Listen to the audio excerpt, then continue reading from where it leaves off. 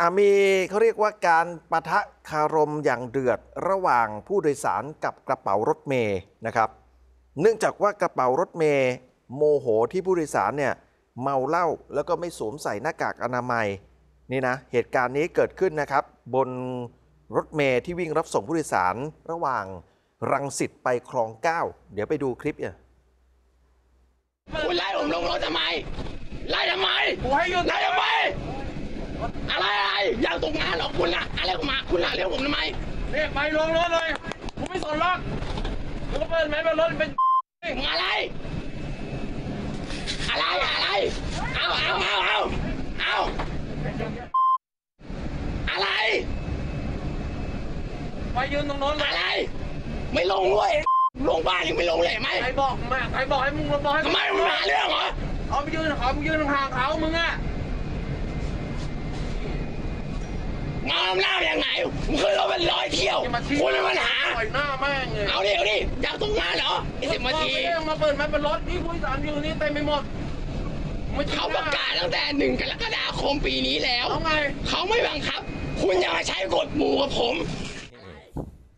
นี่คุณผู้ชมฮะอ่าเออข้อมูลดีนะข้อมูลดี เถียงกันเดือดอ่าอยู่บนรถเมล์สาย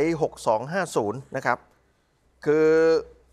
นี่คนที่ถ่ายคลิปก็คือคนที่กำลังชี้นิ้วอยู่เนี่ยอ่า เออรู้ขาเยก วันเวลาของการผ่อนคลายใช่ การใช้แมสด้วย เออเขาบอกว่าไม่ผิดกฎหมาย อ่า ผมไม่ใส่ไม่ผิดกฎหมายนี่ แล้วก็เรียกว่าเถียงจนเสียงแหบเลยนะอืมนี่นะครับอะทีนี้เห็นบอกว่าเนี่ยนะครับ ทางผู้โดยสารเองเนี่ยกับกระเป๋ารถเมย์ก็มีปากเสียงกันอยู่สักพักหนึ่งโอ้โห นี่คนในรถก็ อยู่ในสภาพเขาเรียกว่าตึงเครียดนะ อ่า ถ้าเราอยู่ในรถคันนี้นะหูครับดับฮะบางคนเหรอ เออเจอเสียงเข้าไปโอ้โหเออสุดท้ายเนี่ยฝ่ายผู้โดยสารเนี่ยยอมลงจากรถแล้วก็ทิ้งท้ายบอกว่าเนี่ย ขอให้กระเป๋าตกงาน เออ นี่แช่งเขานะเออ ล่าสุดผู้สื่อข่าวเดินทางไปที่ท่ารถเมย์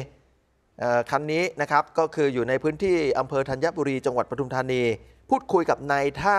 นางอัมพรวงนาม บอกว่าได้สอบถามกระเป๋าในคลิป ทราบว่าผู้โดยสารคนดังกล่าวเนี่ยเมาเหล้าไม่ยอมสวมหน้ากากอนามัย ผู้โดยสารที่อยู่บนรถจึงบอกกับกระเป๋ารถเมย์ให้ช่วยเตือนผู้โดยสารคนที่ว่านี้หน่อย แต่ผู้โดยสารที่เมาเนี่ยก็ไม่ยอมโมโหมีปากเสียงเถียงกันเอาเดี๋ยวลองฟังนายท่าเล่าให้ฟังหน่อยคนโดยสารคนนั้นเขาเมา แล้วผู้โดยสารด้วยกันน่ะเขาก็บอกว่าให้ใส่แมส บอกให้กระเป๋าไปบอก แต่เขาไม่ยอมนั่นแหละ ก็เลยได้เถียงกับกระเป๋า แล้วในเรื่องมาตรมาตรการนี่คือเราก็มันต้องใส่จะจะจะต้องใส่อยู่แล้วใช่ไหมใส่ เพราะมันรถสาธารณะ อ๋อแล้วมันเป็นที่แคบ แล้วก็เป็นรถแอร์ อ๋อเป็นรถแอร์ด้วย มีคนหลายคนอยู่ร่วมกัน ทุกคนเขาก็ต้องการจะปลอดภัยไหมเล่าให้นายท่าฟังก็ถามอยู่ว่า นี่นะครับคุณผู้ชมครับ ล่าสุดก็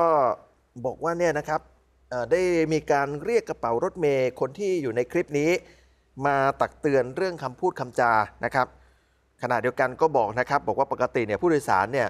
ก็ต้องใส่หน้ากากอนามัย เพราะว่าอยู่ในรถเมย์เนี่ยเป็นรถแอร์แล้วก็มีคนเนี่ยแออัดเยอะ เพราะฉะนั้นเนี่ยอากาศมันไม่ถ่ายเทก็อยากจะให้ใช่ใช่ร่วมมือกันหน่อยใช่ใช่นะครับนะครับรถรถแอร์ด้วยไงครับ นี่